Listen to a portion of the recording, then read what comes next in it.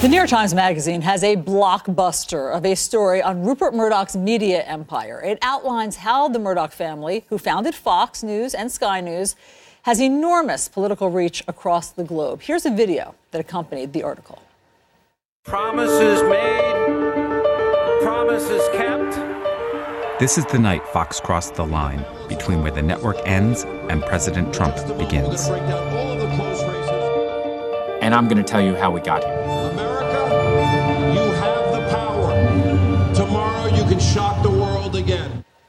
Joining us now is the Times media columnist Jim Rutenberg. He spent six months investigating this piece. He traveled to three continents and interviewed 150 people. I've been wondering where you've been. Yeah, we've been, well, there are two of us. My partner, John Mahler, and I have been um, working this really hard for several months. Yes, we put on a lot of air miles. That was a very ominous sort of Manchurian candidate like clip that we just played there. And I think that what people in the U.S. Um, mostly tie the Murdochs with is Fox News, and you just showed Sean Hannity there. But what your article shows is they have tentacles everywhere and are more powerful than many people know. They have elected prime ministers in other countries. They are vast. It, what it really is, it's a, it's a global machine, right? And and it's almost in these other countries taking it as a given that the Murdoch press is one of the most powerful forces in their country. In some cases, almost like another political party.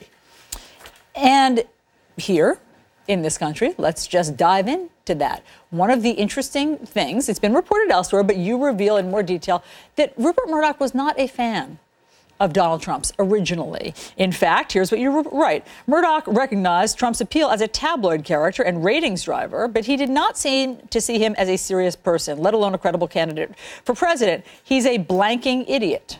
Murdoch would say when asked about Trump. So, how is it possible that they now have such a symbiotic relationship between Fox News and the Trump White House? Well, First of all, one thing to understand about Rupert Murdoch is he does go where his audience is. Now, his audience for most of his products is normally kind of center right to much farther right these days, especially.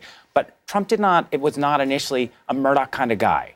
Uh, Rupert Murdoch is on record as being very much, for instance, for immigration reform. He's been, uh, he's for free trade. Environmentally green. For a moment. that was a little shorter lived. But but so, and we forget this now, but there was a point where Fox News and Trump were at war, right? With Megyn Kelly challenging him in, de- in a debate. There was months of back and forth. Some of their coverage would drive Trump crazy. But as he comes into toward, he starts getting close to getting the nomination, you see things start to shift.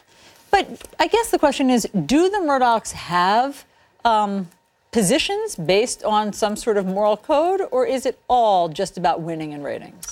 I, I think in, to some degree, yes, it's about giving their audience what the audience wants. But if you look at the sum total of, of the kind of the direction of the Murdoch press across the world, it is inexorably kind of moving to the right. Now, he's a pragmatist, Rupert is, so he will kind of get behind a, a, a more liberal government here or there but it's really mostly going in this other direction. But it's also very interesting to see how he deals with the outsized influence that President Trump now has over Fox News, um, along with you know the president's friend and ally Sean Hannity.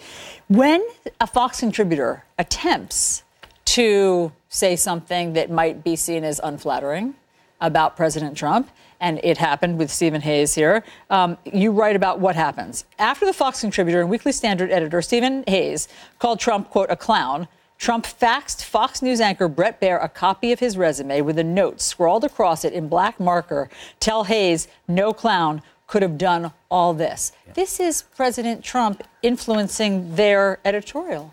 Well, that was at the point during the campaign when they were still at war, and it actually apparently happened more than once. With uh, when he was called a clown by uh, Charles Krauthammer as well. We have some reporting on that. So that is still during that period. But he is known to he's gone on on air, their air and complained about some of their people. So it's not always in lockstep, but especially in prime time and, and, through like a Sean Hannity, they are very, very close, and we we see it play out all the time as we did before the election and, and now since. And yet, not all of the Murdochs are comfortable with this. I mean, you talk about the rift that has happened between the sons. One of them being more liberal is married to a more liberal woman who's very uncomfortable with the direction of Fox News and the Trump presidency. And so, how does that play out? Well, this became a big point of, of conflict within the family. Uh, James Murdoch is more of a, I think he'd call himself a centrist. And he saw, especially Roger Ailes, if we all remember, uh, has to leave the network uh, amid a, a sexual har- harassment scandal.